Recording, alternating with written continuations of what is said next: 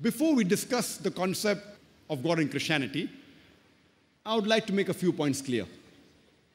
Islam is the only non Christian faith which makes it an article of faith to believe in Jesus Christ, peace be upon him. No Muslim is a Muslim if he does not believe in Jesus Christ, peace be upon him. We believe that he was one of the mightiest messengers of Allah subhanahu wa ta'ala, of Almighty God.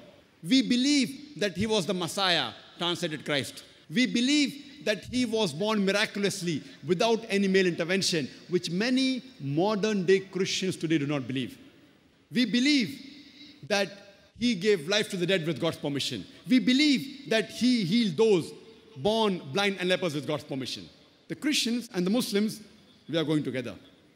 But one may ask, then where is the parting of ways? The parting of ways is that there are many Christians who say that Jesus Christ, peace be upon him, he claimed divinity.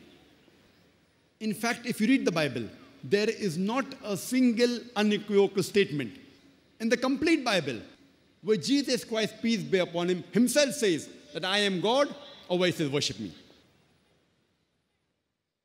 I would like to repeat the statement.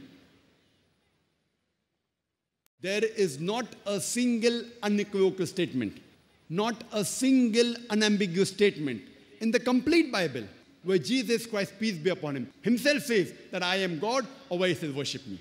If any Christian can point out any unequivocal statement, any unambiguous statement from anywhere in the Bible where Jesus Christ, peace be upon himself, says that I am God, or where he says, worship me, I am ready to accept Christianity today. I am not speaking on behalf of my other Muslims. I am a student of comparative religion. I am ready to put my head on the guillotine. If any Christian can point out any single unequivocal statement in the complete Bible where Jesus Christ, peace be upon himself, says that I am God, or where he says, worship me, I am ready to accept Christianity. In fact, if you read the Bible, Jesus Christ, peace be upon him, he mentioned himself in the Gospel of John, chapter number 14, verse number 28. Jesus Christ, peace be upon him, said, My Father is greater than I. Gospel of John, chapter number 10, verse number 29. My Father is greater than all.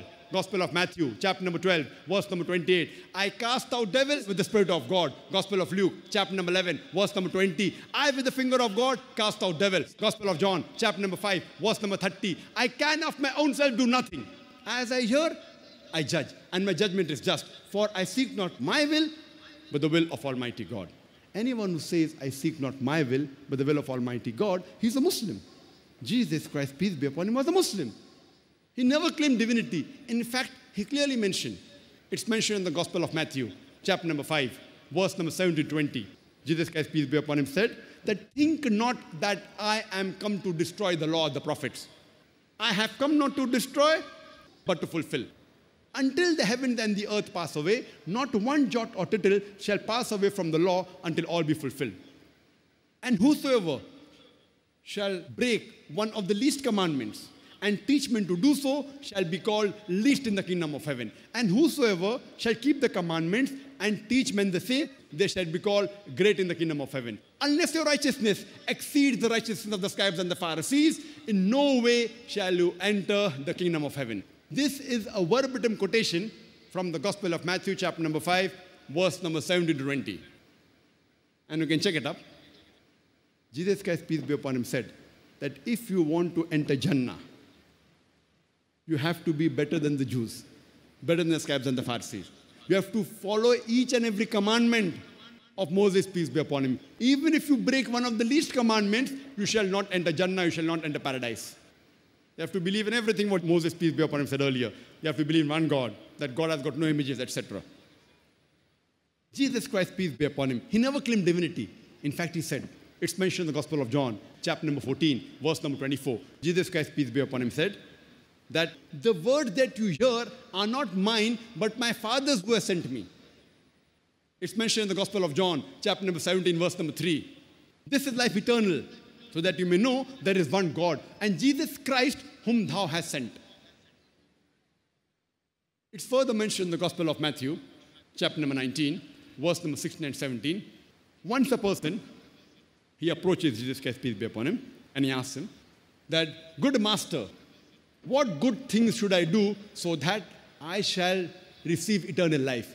He's asking Jesus Christ, peace be upon him, good master, what good things should I do so that I will get eternal life, I shall go to paradise? So Jesus Christ, peace be upon him, replies and says, Why thou callest me good? Leave aside God. Why thou callest me good? There's only one good, and that is Almighty God. And if thou want to enter eternal life, if you want to enter paradise, you keep the commandments. Jesus Christ, peace be upon him, did not say that if you want to enter paradise, believe that I am God. He did not say, believe that I died on the cross for your sins. He said, if you want to enter paradise, you keep the commandments. All that there is one God, God has got no images, etc. It's clearly mentioned in the book of Acts, chapter number 2, verse number 22.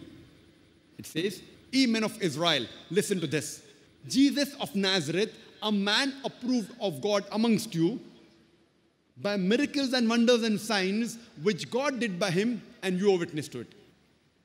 Jesus of Nazareth, a man approved of God amongst you by miracles and wonders and signs which God did by him, and you are witness to it.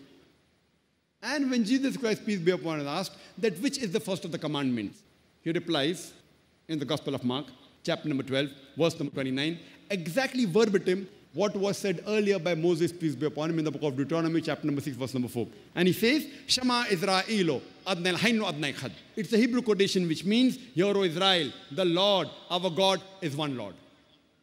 So if you read the Christian Bible, you shall understand the concept of God in Christianity, that Almighty God is only one, has got no images. And you have to worship Him alone and no one else.